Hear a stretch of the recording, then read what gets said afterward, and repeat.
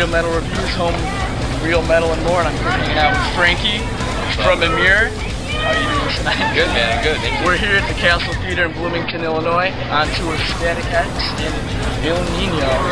So, uh, how's the tour going so Uh, far? yeah, man. So far, so good, man. It's only it's only day three for us, and Right. so you know, third time's a charm, I guess, or whatever. it's good, man. That's awesome. Um, so can you give a background to the fans that might not be familiar with Emmure? Tell a little bit about your band. Uh, to the fans who are not familiar, uh, Or the, the viewers. yeah, I got you, I got you. Uh, fuck with you. Um, yeah, uh, yeah. In case you heard about us, we've been a, a band since 2003, 2012 now. If you don't know yet, get with yourself. I don't know. I don't know to tell you.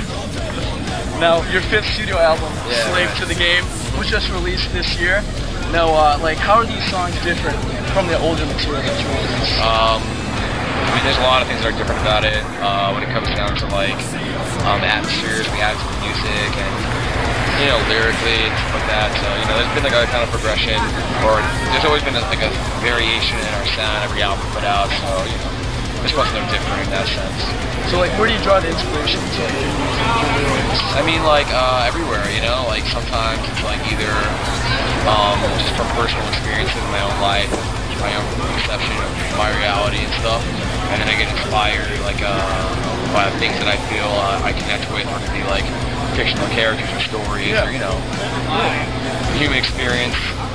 Now, according to your Twitter not too long ago, you said Emmure might be dropping some new stuff Yeah, near yeah. future. I mean, can you tell us a little bit more about that? I'd love to tell you more, but right now it's, it's just more like us crafting ideas together. We, uh, you know, we're constantly creating.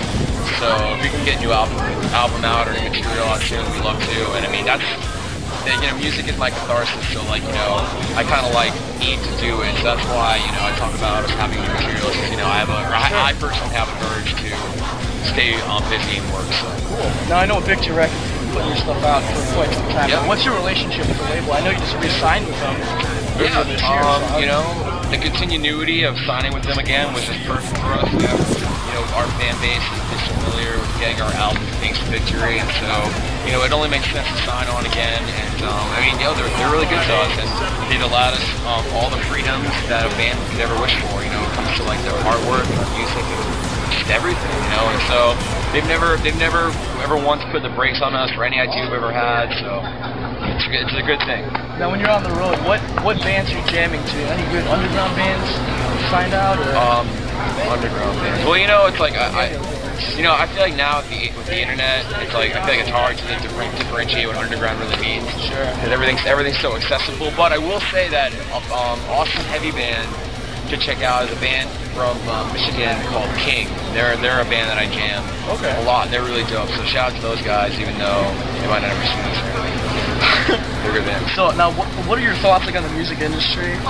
Like stance on music downloads, illegal. You know what?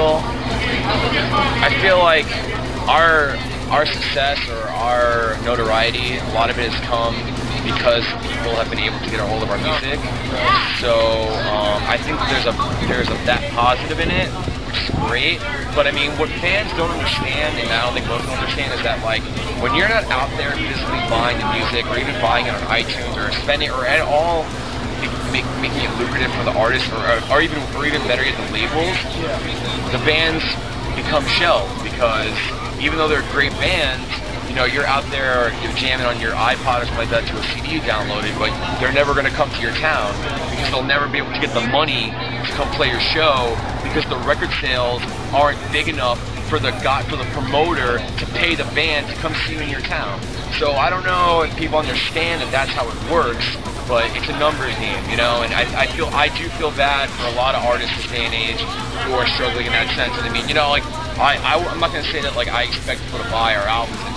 I mean, for God's sakes, I don't think I wrote a gold record, but you know, there's uh, there's definitely like a blur, a, like a like a like a weird line between like people who are supporting your band and earning it. So I mean, if you're out there and you're you're downloading it, but you're at the shows and you're showing love, that's what's up. You're just like out there leeching and you know, that's what's. Supporting the band, showing the support. You know, just you know, just that's all I can say. Like you know, if you're, if you're public about your love for it and you really are passionate about it, then cool. But if you're just someone who's just kind of like taking it just to take it. I mean, that sucks, but you know, I can't, I can't change it. And I mean, straight up, I'm not gonna even fucking front, yo. Like, I fucking, I stream free music all of the fucking time, all the time. Everyone does. So you know. I'm, I'm not gonna say that people shouldn't do that, but you know, it's like I said, if people want to understand why their fucking favorite band doesn't come to their town anytime soon, it's because they're not making, they're, the money's not there to go, and it costs fucking money to be on the road, all right? Lots of fucking money, not your mommy and daddy's money, real money, all right? Absolutely, man. So you heard it from Frankie. Support your band, support your local artists. No, thank you so much. No problem. And I appreciate it. Thanks for the time. This is Frankie from here. Catch 'em on tour with Ill Nino and Static X coming to a town near you. This is Vinny with Real Metal Reviews, home to the real metal and more. That's right.